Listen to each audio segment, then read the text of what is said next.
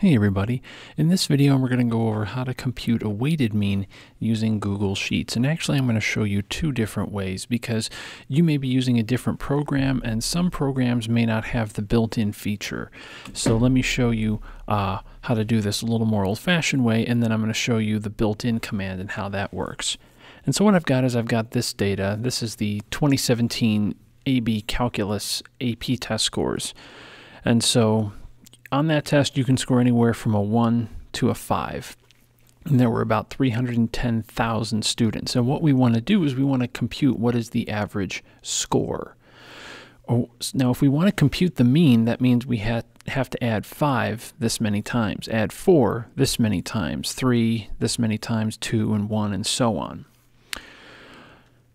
Well, the quick way to do that is to say, well, if 5 happens 74,400 times, what I'm going to do is I'm going to take this cell, 5, and multiply by this cell.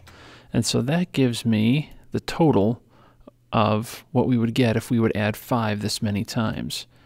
And so if I click and drag this down, now I've got all the totals for adding up the 5s, adding up the 4s, adding up the 3s, adding up the 2s, and adding up the ones. And so what I have to do then is add them up. So I'll just use the sum. I'll highlight that and press enter. And so this is the sum total of all the scores of all the students, but we want the average score. So in order to do that, I'm going to have to also say, well, how many students were there? Well, if I sum them up, we got 308,760. So if I want the weighted average, that's going to have to be this number, the total 907,370 divided by 308,760. There we go. So our average score is about 2.9. Now, again, that's the hard way to do it. And if you don't have this feature that I'm going to show you next, this is how you would do it you would just multiply each number by how often it happens, get your total, and then divide by how often the total frequency happens. But the other way you can do it, at least on Google Sheets, is let me type in equals and average. If you look down, it starts starting to suggest things and it says weighted average.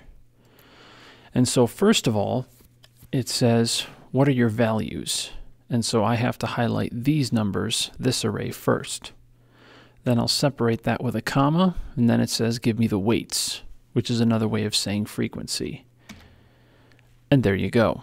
So that's the same approach, different approach, but getting the same number. So if you have this shortcut, by as well, might as well use it. But if you don't have it, you can use the method that I showed you first. Thanks for watching. If you liked the video, give it a thumbs up. If you have suggestions that you want to see worked out, type a comment below. To support the channel, click the Patreon link to help keep this going. Thanks so much for watching, and remember, the best way to understand something is to do it.